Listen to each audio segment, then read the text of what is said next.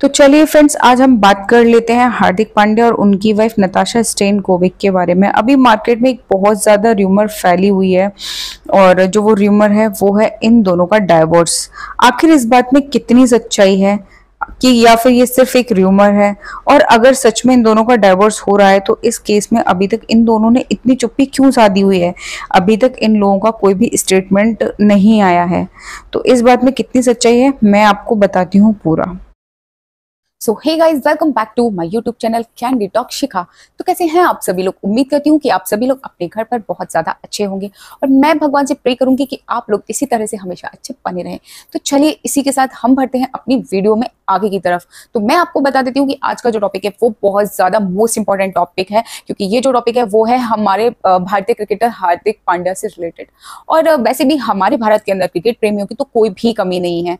तो इसीलिए मुझे लगता है कि जो आज का टॉपिक है वो बहुत ज़्यादा इंपॉर्टेंट है हम सब लोगों के लिए स्पेशली हार्दिक पांड्या फैंस के लिए। तो चलिए इसी के साथ हम बढ़ते हैं वीडियो में आगे की तरफ़। सो लेट्स गेट स्टार्टेड मेरे को जूते के पैसे चाहिए। अरे तू बोल रहा कितना चाहिए? एक, एक लाख एक रुपया। दो लाख पाँच लाख एक रुपया। पाँच लाख एक रुपया। पाँच लाख एक रुपया ट्रांसफ़र कर ले। अभी किसको? तो देखा फ्रेंड्स आपने हार्दिक पांड्या अपनी वाइफ से कितना ज़्यादा प्यार करते हैं। उन्होंने अपनी साली की एक आवाज़ पर बोल दिया, अरे, तू बोल कर तो देख तुझको कितना पैसा चाहिए। हे भगवान, मुझे ऐसे जीजा कब मिलेंगे?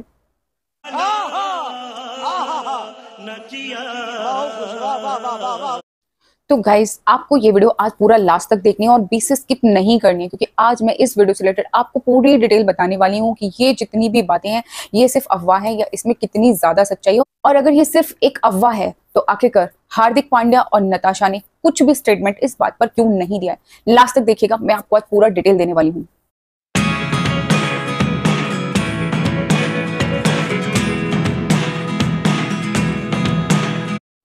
तो फ्रेंड्स आपने अभी जो भी कुछ देखा, ये सब कुछ सिर्फ़ एक मिस्टर ट्रोल है, यानी कि मेमेज और जो भी कुछ अभी हार्दिक पांड्या की लाइफ में चल रहा है, उसको देखकर मेमे तो बनने ही थे। हाफ़ ऑल की इंडिया है। यहाँ पर कोई भी नया क्रिएटर आए, या फिर कोई बड़ा सुपरस्टार हो, अगर उसको लेकर मेमे नहीं बने तो फिर क्या फ़ायदा? और जो इस वीडियो के अंदर एलिगोनी है, वो नताशा के एक्स हैं, जिनका अभी उनके प्रेजेंट से कोई भी लेना देना नहीं है। और, अब मैं आपको बताती हूँ, अब तक की सबसे ज़रूरी खबर। तो अभी की जो कड़कती खबर है वो ये है कि जैसे ही आईपीएल खत्म हुआ, हार्दिक पांड्या तुरंत ही बाहर घूमने चले गए अपनी फैमिली से अलग और वहीं दूसरी तरफ़ नताशा किसी कैफ़े में घूमती हुई नज़र आई अपनी बिना फैमिली के किसी और के साथ। इसीलिए लोगों का ये मानना है कि ये सब सिर्फ़ और सिर्फ़ एक अफवाह है और ये सब इन दोनों की मिलकर जानी मानी साजिश है। कैसे? आइए बताते हैं।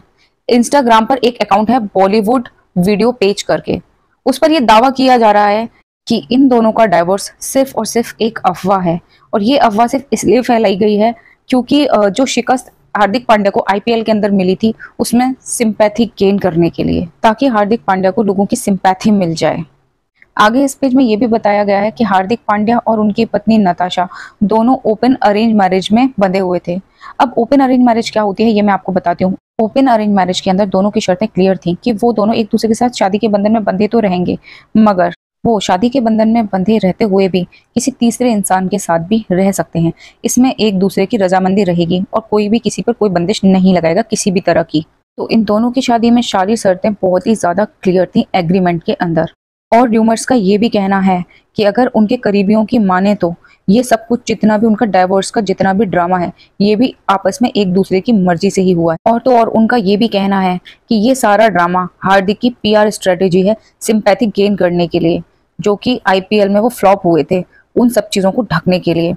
और तो और, ये लोग अभी कुछ टाइम में ही अपना एक जॉइंट स्टेटमेंट भी देने वाले हैं, जिसके अंदर दोनों क्लियर करेंगे कि ये सब कुछ सिर्फ़ और सिर्फ़ एक अफवाह है, असलियत में उनका डाइवोर्स नहीं हो रहा है।